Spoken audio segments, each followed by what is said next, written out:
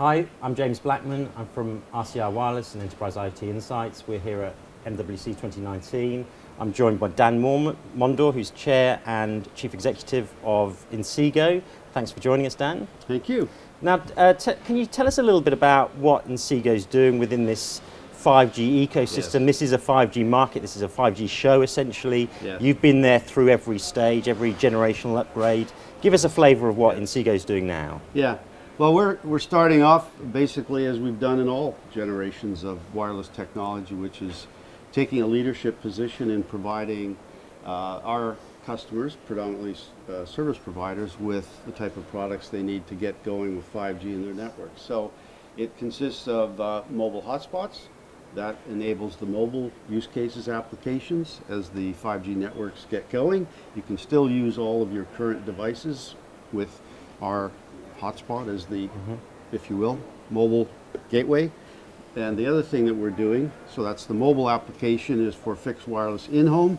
We build the technology into our router for in-home applications. Um, working with the infrastructure guys, Nokia Ericsson, and now a number of customer mm -hmm. deployments. Uh, Verizon in the US, uh, TELUS and Optus in Australia, and we have, I think it's around 20 other engagements around the world as the service providers get going, get ready for trials and deployment of 5G. And through, through these trials and deployments, what, have, what, have you, what has Inseego kind of found with, with the 5G testing? Yeah, uh, I think that what we found is the performance is much better than we expected.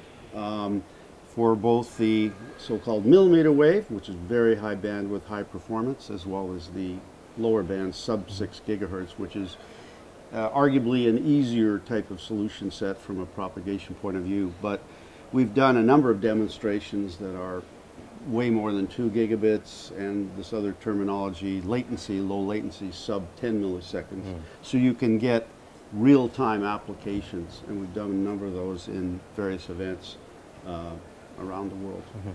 And we're hearing that there is a there is a migration from from you know uh, uh, home broadband into uh, 5G, 5G uh, kind of hotspots and this kind of stuff in the home. Can you talk around that and what you're finding? Is that happening? Are we finding that already? That is happening. That okay. is happening. Um, in our travels and our engagements around the world, we're finding some operators want to start off with the mobile hotspot applications as their initial 5G service offering.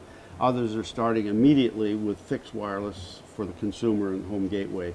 All the untethered mobile uh, wireless uh, mm -hmm. broadband distribution in the home, voice data, video. So it's a very powerful solution set, and if you will, it's uh, their ability to compete with predominant broadband providers such as cable operators mm -hmm. around the world. And IoT is a big part of everything these days. It's part of your strategy. Yes. Can you comment on that and what you're doing there? Yeah. So if you take a step back and think of what Inseego is, it's an IoT device to cloud company. So intelligent devices, uh, cloud solutions that provides all the all the analytics and intelligence, and now powered by 5G. So we have uh, a lineup of IoT products for things like industrial gateways, uh, enterprise vertical applications, and then we have our other technology, which is branded MiFi. Um, uh, so we have MiFi as the brand 5G hotspots, and we have a brand called Skyus, which is our IoT uh, industrial gateways. And all of those together form a device to cloud from an appliance point of view, and then the, the cloud solutions mm -hmm. provide the intelligence. And all of those together, I mean, we're combining a number of technologies here, aren't we? Yes. You know, connectivity layer, there's 5G, we've got, you know, uh, as well as IoT, and then you've got intelligence on top of that. Yes. You know, what are you seeing coming up in terms of use cases and this kind of stuff? Well, there's some really interesting applications, uh, as, again, beyond, uh, shall we say, the consumer. In the enterprise side of the, the equation, it's things like asset tracking. And one of the markets that's very, very interesting and, and emerging is a market sector we refer to as aviation. And, and what we do specifically there is the so-called under-the-wing assets, ground service equipment. Mm -hmm. um, it really is in need of modernization to know where all these high-value assets are. Are they being utilized? If you have 25 fuel trucks, are you're actually finding only 20 of them are being mm -hmm. used? Um, so you can get that kind of intelligence uh, integrate it into the operations in the airport in that instance, and understand where all these assets are, uh, all the information on speed, battery, fuel levels, turning radius, staying within the lanes, going outside, parked and stopped for three hours when it should be should not be.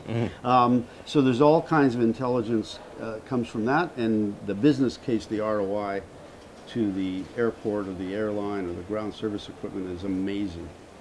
Fantastic. Dan, look, thanks for joining us. And uh, Thank you. Brilliant. Thank you very much. Thank you.